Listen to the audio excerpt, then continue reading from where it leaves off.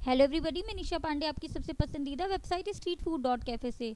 आज मैं आपको बताने जा रही हूँ फिरोज़ाबाद के बारे में। फिरोज़ाबाद उत्तर प्रदेश का एक शहर एवं जिला मुख्यालय है। यह शहर चूड़ियों के निर्माण के लिए प्रसिद्ध है।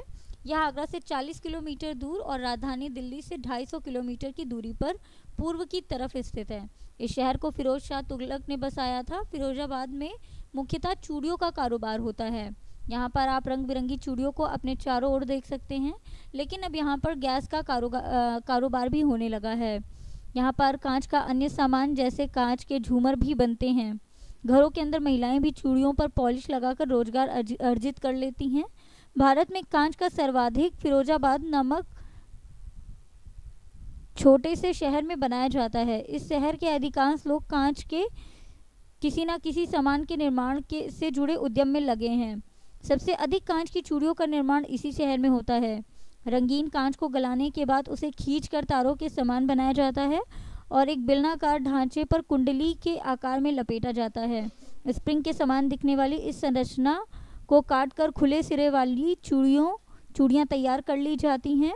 अब इन खुले खुले सिरों वाली चूड़ियों के विधि पूर्वक न सिर्फ़ ये सिर जुड़े होते हैं, बल्कि चूड़ियाँ एक रूप भी हो जाती हैं, ताकि जुड़े सिरों पर कांच का कोई टुकड़ा निकला ना रह जाए। यह एक धीमी प्रक्रिया है, जिसमें कांच को गर्म व ठंडा करना पड़ता है। अलीगढ़ इंस्टीट्यूट गजट सन 1880 की पृष्ठ एक हज़ार तिरासी पर उर्दू के कवि मौलाना उल्ताफ़ हसन आली ने लिखा है कि फिरोज़ाबाद में खजूर के पट्टे की पंखियाँ ऐसी उम्दा बनती हैं कि हिंदुस्तान में शायद ही कहीं बनती हों।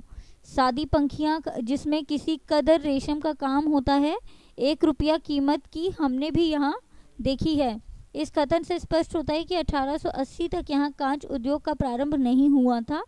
आगरा गजेटियर अठारह सौ चौरासी के पृष्ठ 740 के अनुसार, उस समय फिरोजाबाद में लाख का व्यवसाय भी अच्छी स्थिति में था। यह व्यवसाय कालांतर में समाप्त हो गया, परंतु वर्तमान में भारत में सबसे अधिक कांच की चूड़ियाँ, सजावट की कांच की वस्तुएँ वैज्ञानिक उपकरण, बल्ब आदि फिरोजाबाद में बनाए जाते हैं। स्ट्रीट फ़ूड डॉट कैफ़े से आपकी होस्ट निशा पांडे।